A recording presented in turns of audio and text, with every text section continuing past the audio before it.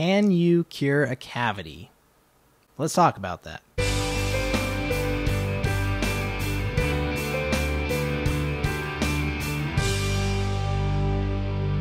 So, the question of the day is it possible to cure a cavity? I wanted to put my two cents in there because I know that there's been other people who have said, like, yeah, this is definitely how, how you can cure a cavity. But first of all, I'm going to address the question, and this is coming from a dental science perspective, not from a what I like to call a voodoo science perspective. So, bear with me here. First of all, is it possible to cure a cavity? The answer is Yes and no. So let's first address a couple of things. First of all, we need to understand a little bit about dental anatomy. Just really simple stuff. To start off, there's three layers of the teeth. Uh, the first layer is the enamel, which is the white portion that you can see when you smile. The second portion is the dentin, which is kind of a yellower substance that's underneath the enamel. And then the third layer, which is on the very most inner part of the tooth, which is the pulp or the root of the tooth. Now, the enamel is a highly mineralized portion. The dentin is a little bit less dense and a little bit more porous. And the root of the tooth is composed of loose connective tissue as well as uh, blood vessels and a nerve supply. So, going back to the question, can you cure a cavity? The yes portion of this answer is this. If you have demineralization of your teeth due to acid erosion and that demineralization has only occurred on the enamel of your teeth, then yes. Yes, you can literally reverse a cavity in that regard. And the way that you can do that is with a fluoride mouthwash. Pretty much as simple as that. If you go to the dentist and they say, hey, you have a cavity that's forming, but it hasn't quite reached the dentin yet, all you got to do is get on a fluoride mouthwash or use a fluoride toothpaste, and that will take care of it. You can actually reverse those cavities. Now, if you go to the dentist and the dentist says you have a cavity that has reached the dentin and we're to have to do a filling, he's right because it is not possible to remineralize the dentin of the tooth. Once you have decay there, decay is going to keep on going until it hits the root of the tooth. If you have a cavity and it's in the dentin, listen to your dentist, get that cavity filled, and just move on with your life. I hope that helps you out. Let me know if you have any questions. I know there's a lot of static about this topic, but that's the science of it. Thank you so much for watching. We will see you in the next video.